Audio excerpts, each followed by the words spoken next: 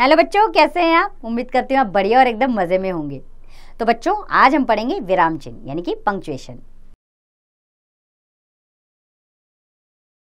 बच्चों, अपने मन के भावों तथा विचारों को ठीक प्रकार से प्रकट करने के लिए हमें वाक्यों का उच्चारण करते समय कहीं पर कम तो कहीं पर अधिक रुकना पड़ता है। मन के विचारों को इच्छा अनुसार प्रकट करवाने में विराम चिन्हों का महत्वपूर्ण स्थान है।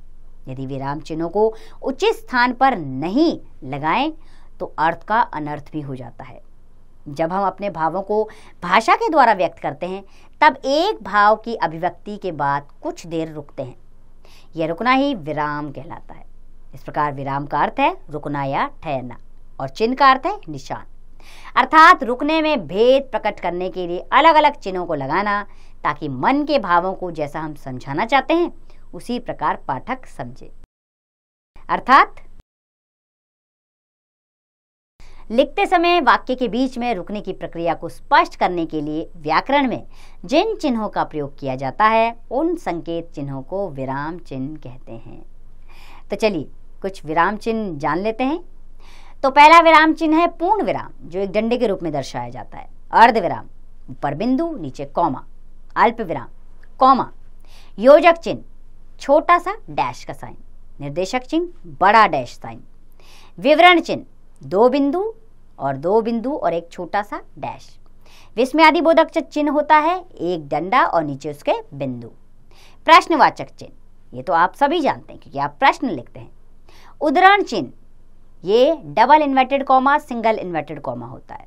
कोष्टक चिन्ह, दो सर्कल हाफ़ हाफ़ इस तरह के आसपास होते हैं। लोभ सूचक चिन्ह ये जब कुछ गड़बड़ हो जाए उसके लिए। संक्षेप सूचक या लाघव चिन्ह, ये शून्य के रूप में दर्शाया जाता है। हस्तपद या त्रुटि सूचक चिन्ह, त्रुटि यानी कि कुछ गड़बड़ हो, गलती होने से हम त्रुटि सूचक चिन्ह लगाकर उसको ठीक कर लेते हैं। आइए एक एक करके इनको जान लेते हैं। पहले हम जानेंगे पूर्ण विराम के विषय में। प्रत्येक वाक्य की समाप्ति पर हम कुछ समय के लिए रुकते हैं। तब अगला वाक्य शुरू करते हैं। वाक्यों को लिखते समय प्रश्नवाचक या विस्मयादिबोधक वाक्यों को छोड़कर शेष सभी वाक्यों के अंत में पूर्ण विराम लगाया जाता है। जैसे, मोहन पुस्तक पढ़ रहा है। वाक्य समाप्त और पूर्ण विराम लगेगा। दूसरा है, अर्धविराम। जहाँ अल्प विराम की अपेक्षा कुछ ज़्यादा देर या पूर्ण विराम से कम देर रुकना हो, वहाँ अर्ध विराम चिन्ह का प्रयोग किया जाता है। अर्थात पूर्ण विराम और अल्प विराम के मध्य का चिन्ह अर्ध विराम है। जैसे भारत संसार का धर्म गुरु है अर्ध विराम का चिन्ह लगाएँगे।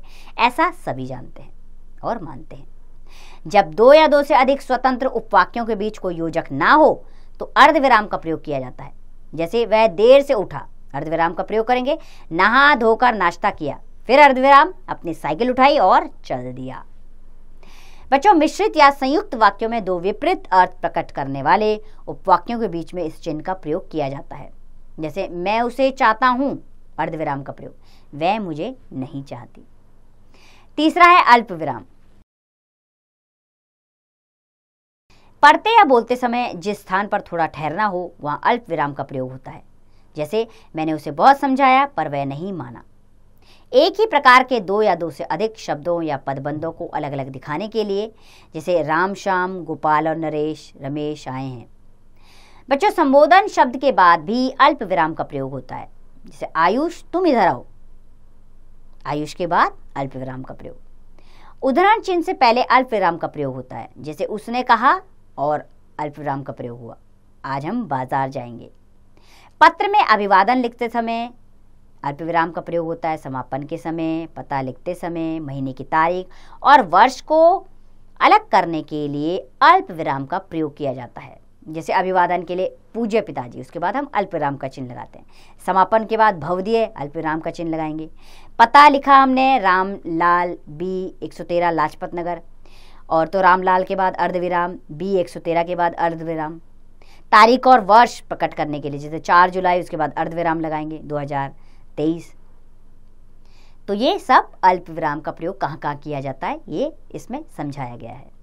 चलिए अब जानते हैं हम, चौथा है योजक चिन्ह हमारा।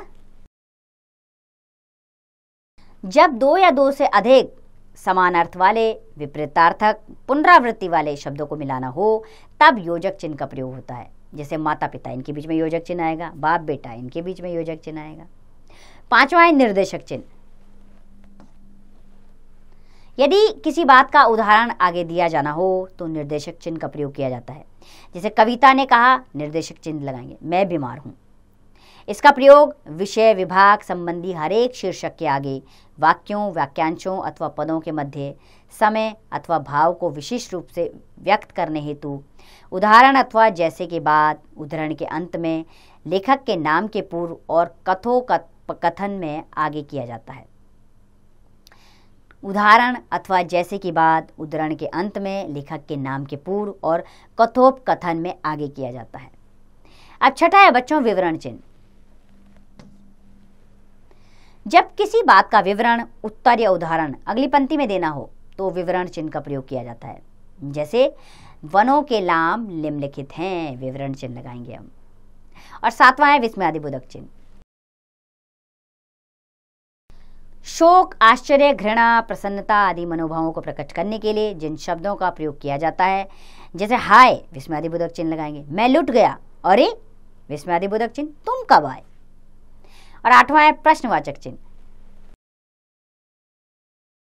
प्रश्नवाचक चिन्ह का प्रयोग उन वाक्यों के अंत में किया जाता है जिनका प्रयोग प्रश्न पूछने के लिए होता है। जैसे आप कौन है? प्रश्नवाचक चिन्ह का प्रयोग करेंगे। आप कहाँ से आए हैं? इसमें भी प्रश्नवाचक चिन्ह, क्योंकि प्रश्न किया गया है। नौवा है उदाहरण चिन्ह। उदाहरण चिन्ह दो प्रकार के होते हैं। एक रहा उदाहरण चिन्ह और दूसरा होता है दोहरा उदाहरण चिन्ह। किसी वाक्य में कवि, लेखक के उपनाम, पाठकों या पाठों के शीर्षक, पुस्तक, समाचार पत्र आदि का नाम लिखने में इकरण उदाहरण चिन्हों का प्रयोग किया जाता है। जैसे बाल भारती इकरे उदाहरण चिन्ह में रखेंगे इसको। बच्चों की पुस्तक है। जब किसी पुस्तक के अंश अथवा वक्ता के कथन को उन्हीं शब्दों में उद्धृत किया जाए तो दोहरे उदाहरण चिन्ह का प्रयोग होता है। मतलब वैसा का वैसा ही लिखते हैं हम तो दोहरे उदाहरण चिन्ह का प्रयोग करते हैं। जैसे उसने कहा, मेरे आने तक तुम यही प्रतीक्षा करो। इसे दोहरे उदाहरण चिन्ह में हम रखेंगे। और दसवां है कोष्ठक चिन्ह। कोष्ठक के भीतर मुख्य रूप से ऐसी सामग्री रखी जाती है, जो मुख्य वाक्य का अंग नहीं होती। किसी शब्द के अर्थ को स्पष्ट करने के लिए भी इसका प्रयोग किया जाता है। जैसे वह प्रियन प्रियनवदा प्रिय बोलने वाली स्त्री को कोष्टक में रखेंगे, हैं। यानी कि प्रियमवदा का ये अर्थ स्पष्ट कर रहा है, इसलिए इसको कोष्टक में रखेंगे, प्रिय बोलने वाली स्त्री। और ग्यारहवा है लोप सूचक चिन्ह। किसी उदाहरण को देते समय जब अर्धृष्ट अंश में से स्थान या समय के अभाव में किसी अंश विशेष की आवश्यकता ना हो पर किसी उदाहरण को देते समय जब अदृत अंश में से स्थान या समय के अभाव में किसी अंश विशेष की आवश्यकता ना होने पर कुछ शब्द या वाक्य छोड़ दिया जाता है। जैसे, हर मनुष्य को यह शिक्षा दी जाती है कि तुम उस विश्वास से एक हो। क्रॉस क्रॉस क्रॉस क्रॉस लगाते जाएँगे। इसलिए दूसरों को चोट पहुंचाना, अपने को ही चोट पहुंचाना है। और बारवा बच्चों, संक्षेप सूचक या लाघव चिन्ह। संक्षेप, यानी कि छोटा लिखने के लिए। किसी शब्द को संक्षेप में लिखने के लिए उसका कुछ प्रारंभ अंश लिखकर संक्षेप चिन्ह लगा देते हैं, जैसे डॉक्टर पूरा ना लिखकर डा, ऊपर आगा ध्वनि का चिन्ह और लाघव चिन्ह लगा दिया। ईस्वी, बड़ी और लाघव चिन्ह, जवाहरलाल नेहरू, ज और लाघव चिन्ह। ये लगाने से पता लग जाता है कि हम इसे संक्षेप में लिख रहे हैं। और तेरवा है हस्प्रद या त्रुटि सूचक चिन्ह। लिखते समय जब वाक्य में कोई बात छूट जाती है, परंतु बाद में उसके जोड़ने की आवश्यकता का अनुभव होता है तो छूटे हुए स्थान पर हस्तप्रद का प्रयोग करके वह बात लिख दी जाती है, जिसे माता पिता बच्चों को सदा प्रसन्न देखना चाहते हैं। इसमें अगर कोई शब्द छूट गया तो हम हस्तप्रद चिन्ह लगाकर उस शब्द को ऊपर लिख देते हैं। आइए इस पाठ से संबंधित महत्वपूर्ण बिंदु जान लेते हैं। लिखते समय वाक्य के बीच में रुकने की प्रक्रिया को स्पष्ट करने के लिए व्याकरण में जिन चिन्हों का प्रयोग किया जाता है, उन संकेत चिन्हों को विराम चिन्ह कहते हैं। बच्चों, प्रमुख विराम चिन्ह तेरह होते हैं। उनके नाम हैं, पूर्ण विराम, अर्ध विराम, अल्प विराम, योजक चिन्ह, निर्देशक चिन्ह, विवरण चिन्ह, विस्मयादिबोधक चिन्ह, प्रश्नवाचक चिन्ह उदाहरण चिन्ह, कोष्टक चिन्ह लोप सूचक चिन्ह, लाघव चिन्ह, हस्तप्रद या त्रुटि सूचक चिन्ह। तो उम्मीद करती हूँ बच्चों, आपको विराम चिन्ह अच्छे से समझ आए होंगे। अब इसका अभ्यास कार्य आप स्वयं कीजिए।